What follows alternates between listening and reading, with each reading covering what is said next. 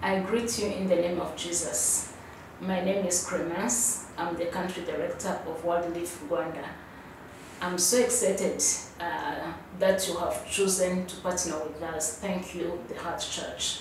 We are inviting you to partner with us uh, in the church empowerment area uh, in the Eastern Province, Gatsibo District. In that area, we are now working with 180 local churches and uh, we already have started to mobilize and build in the capacity in transformation development. Churches are so excited to start ministries. So far in the first year, they have been able to start uh, every local church ministry. They have uh, been serving the needs of the most vulnerable by creating uh, income generating activities for the most vulnerable and also trying to meet the immediate needs.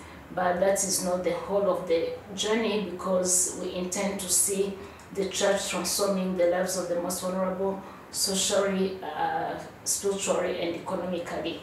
So we have conducted a baseline assessment and we have found out that they still have main issues, especially family conflict and also extreme poverty.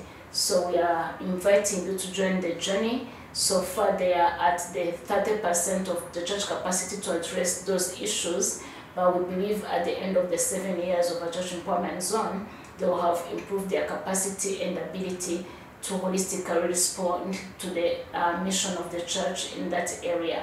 We thank you and uh, we are excited uh, on this journey of partnering to empower the local church to serve the most vulnerable. Thank you.